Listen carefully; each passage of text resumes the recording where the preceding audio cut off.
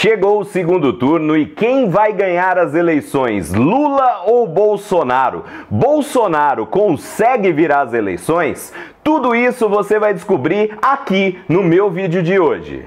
Mas antes, deixe o seu like nesse vídeo, comente, depois você vê se me xinga ou não, mas principalmente inscreva-se no canal e ative o sininho para que você receba as melhores análises sobre essa eleição mais maluca da Terra e você sabe que aqui tem a melhor análise mesmo. Como você sabe, o primeiro turno das eleições presidencial acabou e os resultados surpreenderam um pouco as pesquisas de opinião. Por exemplo, é, a primeira surpresa, ou nem tanto, porque a margem de erro ainda dava essa possibilidade, Lula não venceu as eleições no primeiro turno. Lula somou 48,4% dos votos. Já a maior su surpresa ou maior erro das pesquisas está no resultado obtido por Jair Bolsonaro. Enquanto as pesquisas davam 37, 38, 39% dos votos válidos, o atual presidente da República somou 43,2% dos votos válidos.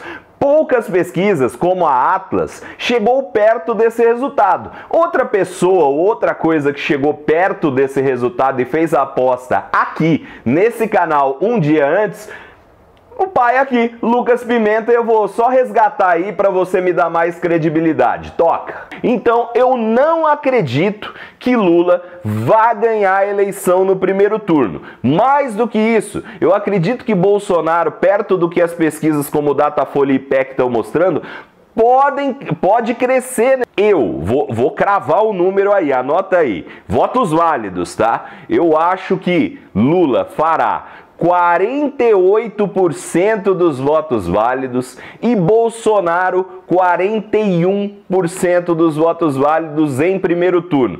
Você viu que eu sou melhor que as pesquisas, né? E custo bem menos, inclusive. Então hoje, de acordo, pegando já o resultado da eleição, hoje a gente vai tentar assim analisar se há possibilidade de Jair Bolsonaro virar, qual é quais essas possibilidades, qual o tamanho da escalada que ele tem para fazer para virar essa eleição e o que, que vai acontecer nesses próximos dias de eleição. Só para você ter uma ideia de como foi essa eleição, não só nos percentuais, né? Para você analisar ali o que faltou, o que não faltou, qual a distância e tal. Lula ficou mais ou menos de ganhar no primeiro turno.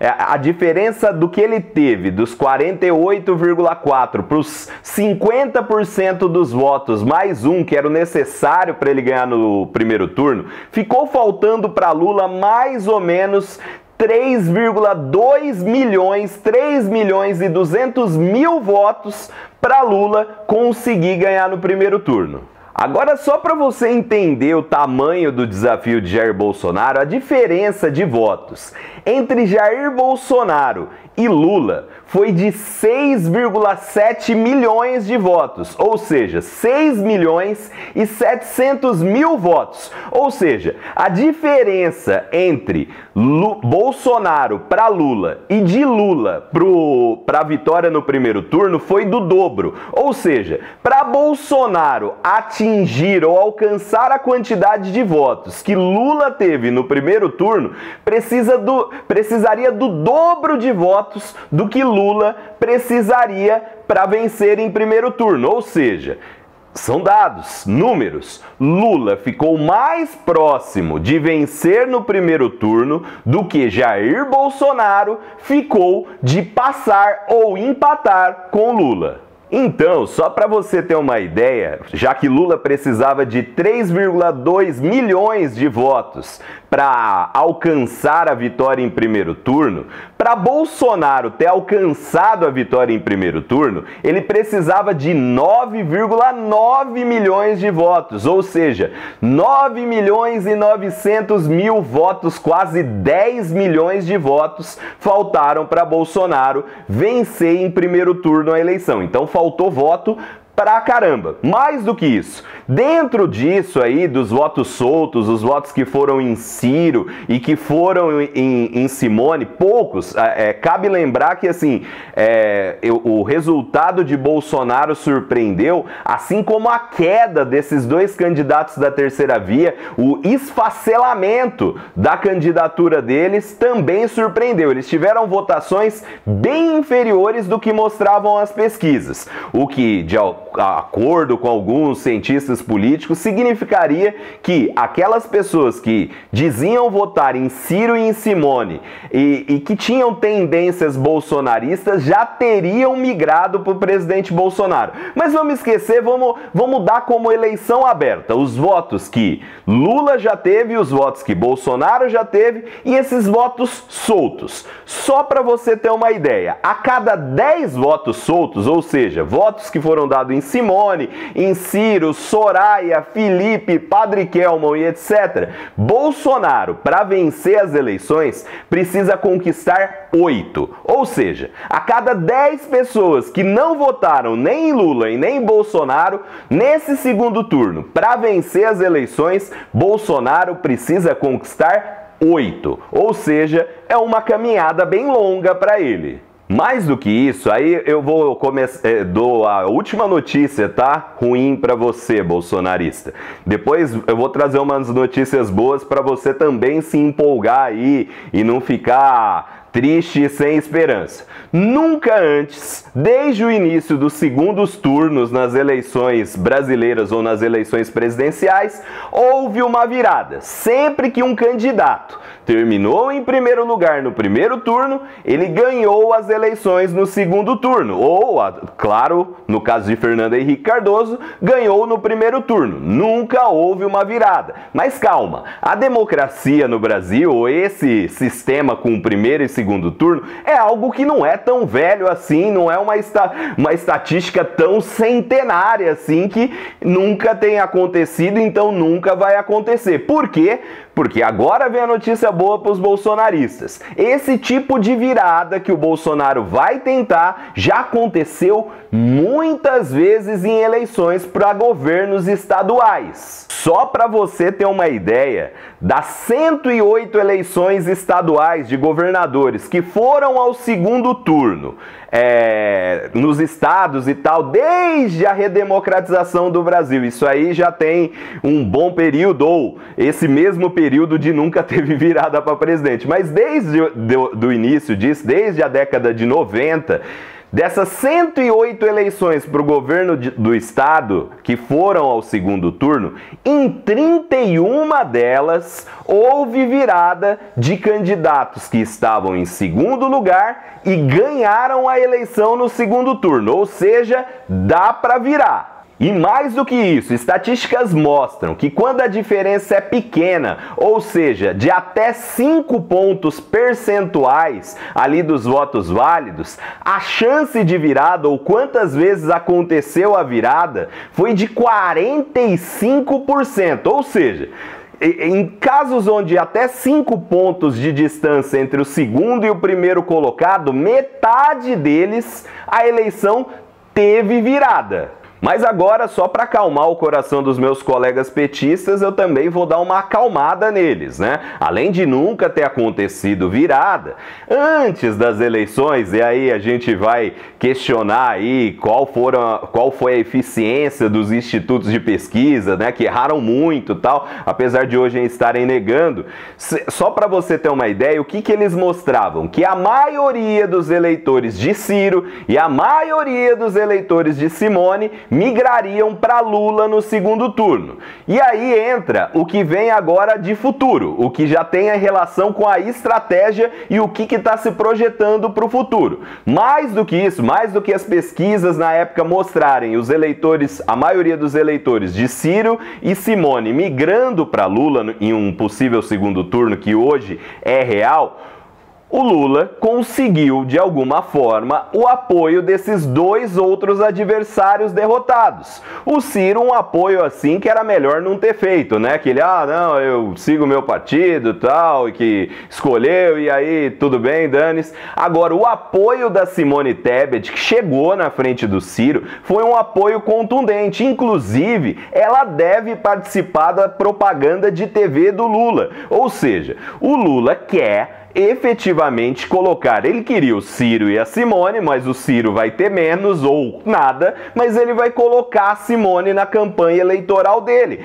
para ele tentar pelo menos herdar a maioria dos votos dela. E é o que Lula precisa para vencer a eleição: herdar mais de 60 ou 70% dos votos de Simone Tebet. Basta ele herdar esse contingente de votos, a cada 10 votos da Simone Tebet ele herdar 7, e Lula não precisa do voto de mais ninguém e ele estará eleito. Então essa é a estratégia do Lula. Ele mostrar que os outros dois adversários derrotados preferem ele ele e assim os eleitores desses dois adversários derrotados migrarem para ele. Vai acontecer? Só o dia 30 de outubro vai mostrar. Já Bolsonaro aposta em crescer em estados onde governadores, onde candidatos ao governo do estado dele tiveram bons resultados, tiveram vitórias e ele acabou não tendo a, a mesma distância, a mesma diferença.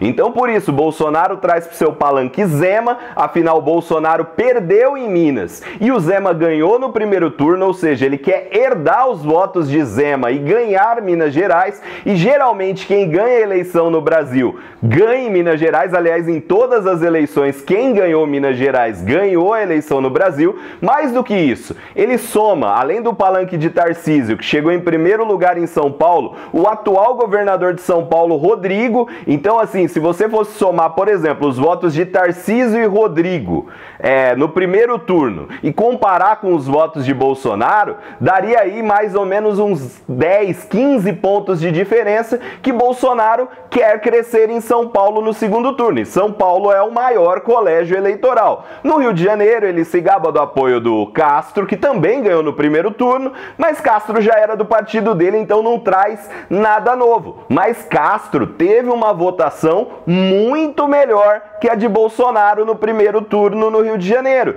Então, Bolsonaro quer tentar colar em Castro e repetir a votação que Castro teve no Rio de Janeiro. Então, se você olhar, as estratégias estão postas aí para o segundo turno. Enquanto Bolsonaro busca, busca crescer no Sudeste, né? Já conseguiu aí os três principais, os três governadores do Sudeste em apoio a ele, que é o maior colégio eleitoral, e tenta replicar no Sudeste a vantagem enorme que Lula tem no Nordeste, o segundo maior colégio eleitoral. Lula tenta pegar esses eleitores soltos de Simone e Ciro por meio deles mesmos, por, por meio do apoio deles. Então, Bolsonaro, enquanto quer casar com os governadores do Sudeste que tiveram larga votação e assim também repetir a larga votação no segundo turno, Lula quer que o eleitor de Simone vote em Lula porque Simone apoia Lula. Quer que os eleitores de Ciro votem em Lula porque Ciro apoia Lula no segundo turno. Então essa é a estratégia. Qual das duas vai funcionar? A gente ainda precisa ver o desenvolvimento desses dias, ainda tem dia pra caramba de campanha. E aí você me pergunta, Lucas, é, você falou da, que, dos números, apresentou as estratégias, mas tem chance do Bolsonaro virar? Já falei que tem tem chance do Bolsonaro virar eleição. Em casos iguais em governo do estado, nesse tipo de coisa, metade das eleições são viradas. O Bolsonaro vai conseguir virar eleição? É uma outra história. Entenda o seguinte, gente, eu, eu acertei o resultado, né? Ou pelo menos cheguei mais perto que os institutos do, de pesquisa no último dia antes da eleição em que eu fiz meu vídeo de apostas aqui. Na verdade, a minha aposta não é uma aposta dividente, eu não consulto as estrelas, os oráculos, nada. Eu faço análises de política, eu faço análises de dados, eu faço análise de marketing político para projetar o resultado que eu acredito que pode dar. Só que assim, como ainda faltam 20 dias ou mais para a eleição, ainda muita coisa pode acontecer. Muitos fatos podem influenciar o voto do eleitor. Muitas coisas, notícias, pode cair um avião, gente, pode acontecer muita coisa e que mude esse cenário político. Mas eu prometo, esse é, é, nesse segundo turno eu também vou fazer apostas. Mas por enquanto, me acompanhe aqui para a gente ver junto, para você pensar junto comigo, porque no segundo turno você vai acertar o resultado. Porque você vai saber como a campanha vai se desenrolando, quais são as estratégias, o que está dando certo, o que, não, o que não está dando certo.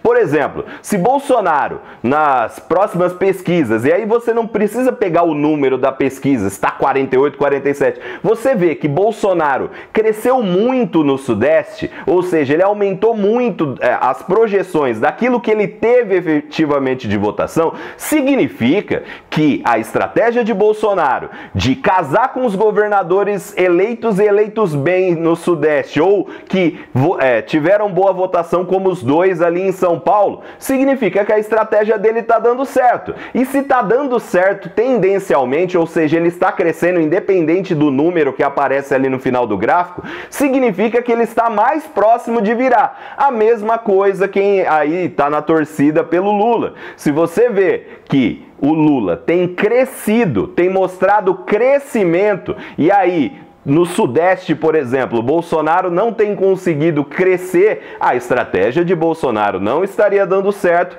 e a estratégia de Lula estaria dando certo. Então é isso que você vai acompanhar comigo aqui, até que um dia antes da eleição eu venha aqui e crave o resultado como eu cravei no primeiro, porque afinal. É, quando eu estudo ali, eu sento e faço os trabalhos, eu não erro. Mas é isso. Muito obrigado por você estar aqui, muito obrigado por ter acompanhado aqui comigo. Eu espero que é, eu te ajude um pouquinho a entender como funciona essa balança, a dinâmica das, das eleições, né? E que você possa, junto comigo aí no último dia também, acertar o resultado da eleição sem precisar esperar a votação. Então, assim, muito obrigado. Não esquece, comenta aqui embaixo, pode me xingar. Eu sei que vai ter gente que vai me xingar, porque aí vão falar: ah, você tá defendendo não sei quem, você tá defendendo não sei que lá, você tá dizendo que tal vai ganhar, você tá dizendo que tal vai perder. Eu tô acostumado, sério, sério, pode xingar que eu tô acostumado. Mas mais que isso, se você quiser me xingar mais vezes em outras análises, ver eu falando é, é, mais sobre como tá caminhando essa eleição e principalmente acertando quem ganha e quem não não ganha essa eleição, inscreva-se no canal, ative o sininho para que você veja mais análises sobre as eleições como essa aqui. Muito obrigado e tchau!